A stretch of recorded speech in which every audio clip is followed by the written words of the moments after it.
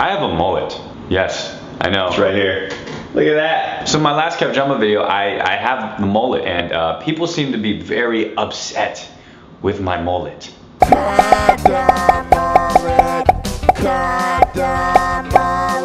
Sticks and stones may break my bones, but words will never hurt me.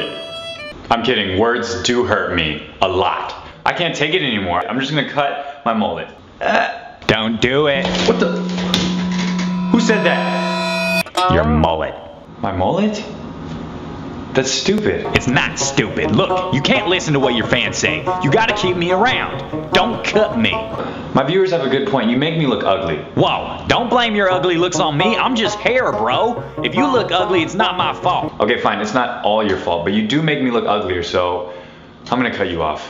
Whoa, whoa, whoa. So just because people think you look uglier, you're just gonna get rid of me? What happened to making decisions on your own? Have some dignity, bro.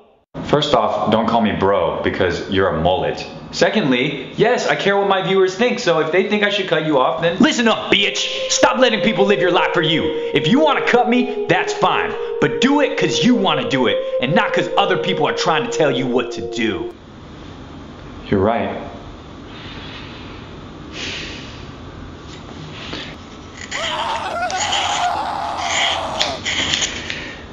Die!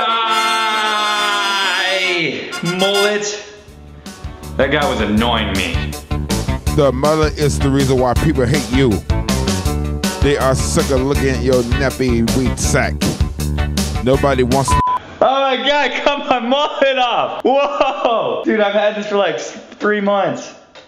Whoa.